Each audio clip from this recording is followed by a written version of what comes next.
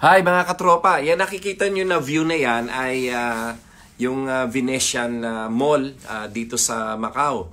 Ah, makikita nyo do- dyan, no? Ah, kasi nasa ano kami, nasa 20 ah, first ah, floor. Kaya ang ganda-ganda ng view namin, nakikita-kita mo yung ano, yung ah, Venetian. And ah, yung katabing hotel naman na yan ay ah, ano nga ba hotel to?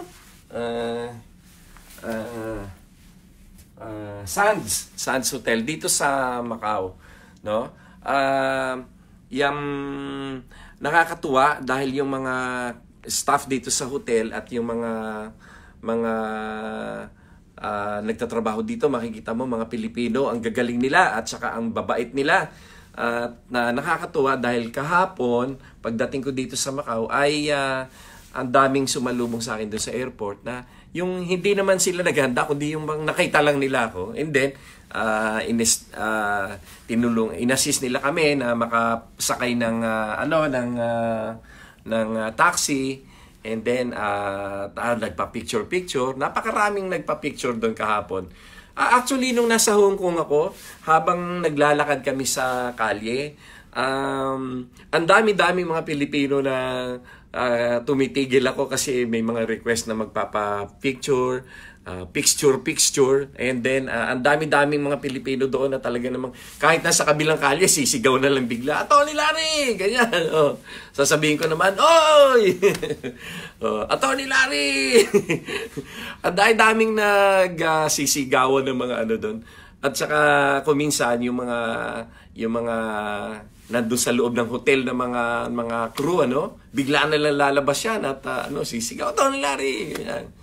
Uh, nakakatuwa kasi ano uh, uh, may pagmamalaki mo ang mga Pilipino talaga sa ibang bansa na nagtatrabaho kasi ang gagaling nila at uh, highly uh, in demand ang mga Pilipino pagdating sa mga sa mga hotel uh, at saka sa mga ano sa mga iba't ibang mga establishments dito sa uh, Hong Kong at saka sa Macau.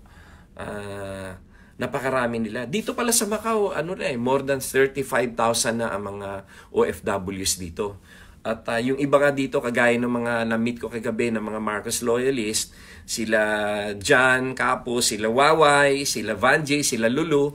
Uh, si Waway, ang pinakamatagal dito, 30 years na raw siya.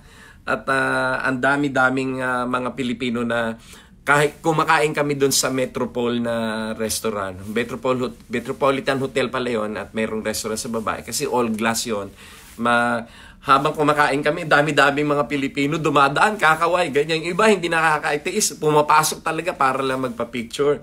No? Natutuwa naman ako kasi uh, nakikilala nila ako ng gusto, no? Oo. O ito pala, batiin ko si Evangeline uh, talaga. Wow, ganda ng view ng good morning. uh, si Ronald uh, Tubalias. Um, si Neb uh, Udineta. O si Aljon Espanyol. Ronald Tubalias. O, uh, uh, Chris Mirey Lord. Uh, Gadon. Sulit. Oh, pinsan ko ito. Oh, pinsan, kamusta? Uh, yan, oh.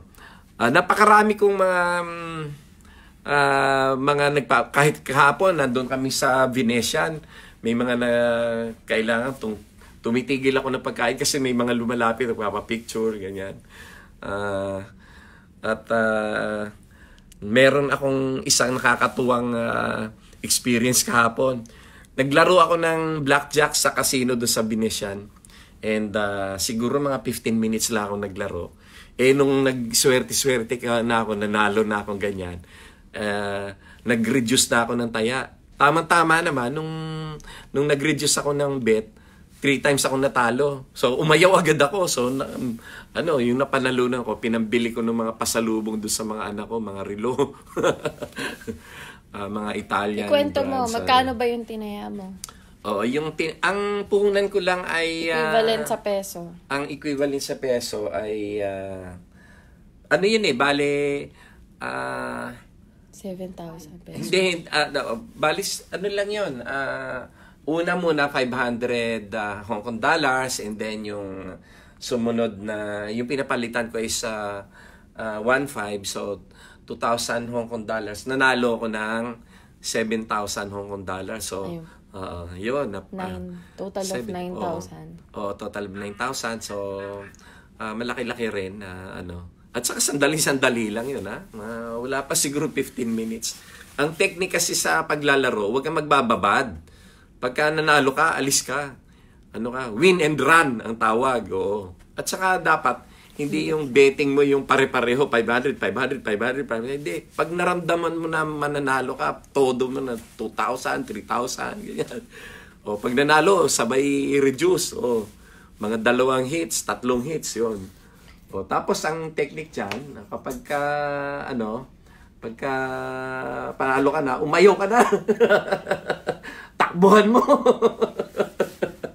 At saka Yun ang technique dyan eh. for entertainment lang. Oh, tsaka for entertainment lang yan. Tsaka saglit lang. Oo, oo, tsaka saglit lang. Tataya ka Ano, At konti. alam mo doon sa atin, yung Pagcor, no? Yung mga casino ng Pagcor, napakaraming natutulungan yan. In fact, yung ah, universal ah, healthcare ni ah, Presidente Duterte ay ah, ang pondo niyan ay nanggagaling sa Pagcor.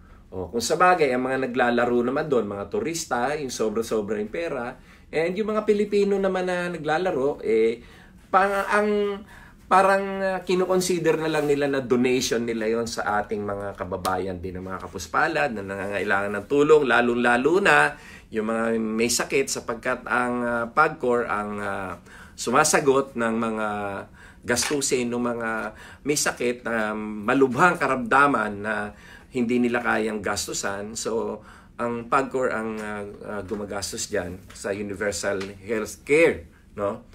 And uh, uh, napakaraming mga proyekto ng PAGCOR na ginagawa. So, uh, na nakakatulong talaga sa sambayan ng Pilipino. Kaya, uh, okay lang din naman yung paminsan-minsan lang. Wag na wag ninyong gagawin na bisyo yung uh, paglalaro sa casino. Yun ay libangan lang. At saka, Pampatanggal ng pampa, stress. pambi, pambi, ano lang, ah, mga once eh, a year, twice a year, tama na, o gano'n. Oo, oo, o kagaya ng ginagawa ko, no? Ah, pampala, ano lang. At saka, dito kasi, meron akong experience talaga dito sa Macau. Tuwing maglalaro ako, nananalo ako. At ah, okay naman kasi parang nalilibre yung ibang pang-shopping ko. No? Ah, yung ah, ah ah, pagka ang isa sa mga paborito kong pinupuntahan dito of course ay yung ah, ano ay batiin ko pala si Leo si Lee Schwartz no Ah, si Mary Jane ah, Cabañas si ah, J. Emmanuel Collantes oh, oo. si Relin ah, ah, Quaresma ah, Tangonan. Oh. Eh, ito ang hirap ng pagkamaliit yung cellphone eh. Ah, thanks support gaming industry lalo na kami dito sa Macau. Ay nako, oo. Ah, at alam nyo ba nakakatuwa diyan sa ano sa sa casino diyan sa Venetian. Ang daming mga Pilipino na mga crew, no? Ah, at ah, ang nakakatuwa nung kilala nila ako agad. at ah, ma- ano sila talaga mga masisipag at saka magagalang at ah, mababait, no? At ah, I'm sure din na pagka nung nag nang na, na decide nila na magtrabaho dito sa ibang bansa, kagaya dito sa Macau, ay yan ay malaking sakripisyo yan sa kanila para sa kanilang pamilya. Of course, ah, at ah, I'm sure na ah, mahal na mahal nila ang kanilang mga pamilya. Kaya nga, kayo dyan, no? Na nasa Pilipinas, yung mga pinaghirapan naman ng mga magulang nyo ay ah, inyo namang ah, ah, wag na waldasin at wag sayangin, no? Yung mga nag-aaral dyan, mag-aral kayo mabuti, huwag kayong ah, sumama sa mga tropang ah, ah, droga, ganyan, yung mga tropang gala, huwag kayong sumama sa ganon, no? Alalahanin nyo yung ah, pinaghihirapan ng inyong mga magulang at inyong mga kamag-anak para lang kayo ay matustusan at para kayo ay matulungan. At ah, hindi dapat na sayangin ang lahat ng pagkakataon, no? Ah, alam nyo ba ako, hindi naman ako mayaman na tao, pero ah, sinikap ko lang rin na ah, mag-aral at ah, makapagtapos. At ah, huwag kayong mag-alala kahit yung hindi kayo halimbawa honor student, hindi kayo scholar, hindi ibig sabihin yan eh sarado na yung mundo sa inyo. Hindi. Alam nyo ba ako, hindi naman ako talaga super uh, talino, no?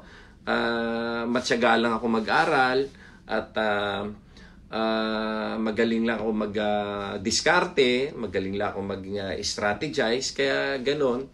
Uh, hindi naman nadadaan lahat yan sa pagiging dean's lister o pagiging scholar or pagiging summa cum laude. No? Uh, basta pagbutihan nyo lang, mga tapos kayo. Ang tunay na labanan ng buhay ay yung pagka-graduate mo. No? Pag ikaw ay uh, masigasig, ikaw ay masipag, ikaw ay determinado, doon mo makaka- malalaman yon. At uh, kaya nga, ang maraming mga mga uh, OFW natin dito sa Pilipinas, uh, do, na nandito sa ibang bansa, kagaya dito sa Macau, uh, lahat yan ay talagang uh, subok na yan, na matatag at uh, talagang determinado, no? mga masisipag. So, attorney, ano po ang final message nyo para sa mga OFW sa Hong Kong at dito sa Macau?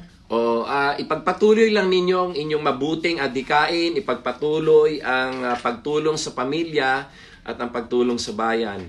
Uh, yung ginagawa ninyo na pagsisikap uh, at ang inyong uh, mga pag uh, uh, sakripisyo, yung pagtulong ninyo sa pamilya, actually tulong din yung sa bayan. Sapagkat ang inyong pinapadalang uh, pera sa inyong mga pamilya ay yun din ang uh, tumutustos sa mga ekonomiya ng ating uh, bansa no? Kaya ako talaga uh, bilib na bilib ako sa mga OFW no? Kasi ang laki-laki ng sakripisyo nila kahit na malungkot uh, na nasa ibang lugar ka malayo sa pamilya eh napakalaki ng kanilang sakripisyo mabuhay kayong lahat mga kapatid ko, mga Pilipino, OFW, mabuhay kayong lahat.